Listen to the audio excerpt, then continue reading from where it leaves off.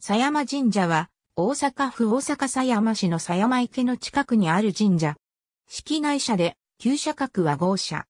狭山神社の境内摂社である、狭山堤神社についても、本記事で記述する。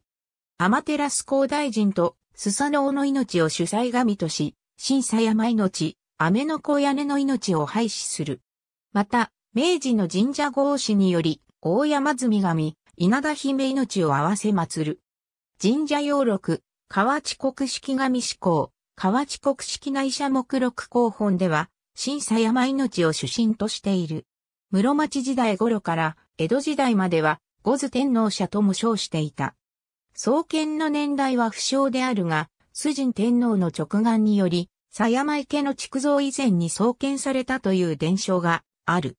演技式神明町では、近隣の狭山堤神社と共に大社に列格している。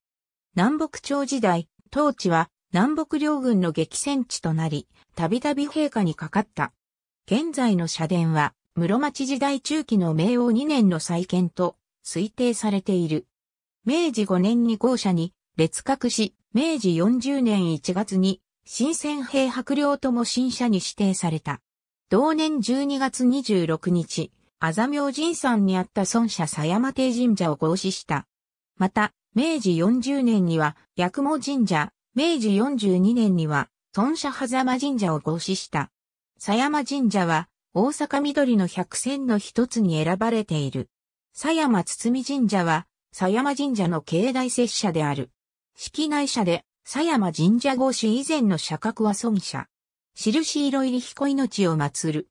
古事記、水任天皇記に、印色入り彦命は、狭山池を、作りとあり、狭山池の鎮守の神として印色入り彦命を、祀ったものである。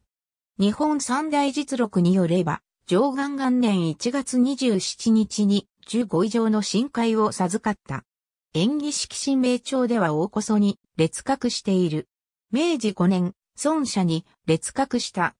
明治40年12月26日、豪社狭山神社に合祀され、同社の境内社となった。狭山神社拝殿に向かって左側にある。ありがとうございます。